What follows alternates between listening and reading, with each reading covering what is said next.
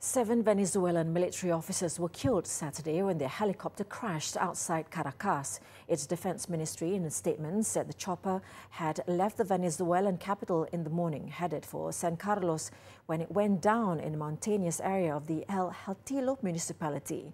On Twitter, Maduro mourned the loss of seven worthy officers of the country.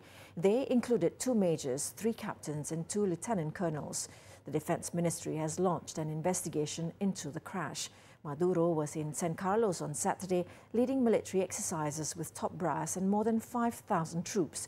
It was a show of strength against opposition leader Juan Guaido, whose attempt to launch a military uprising earlier in the week had failed.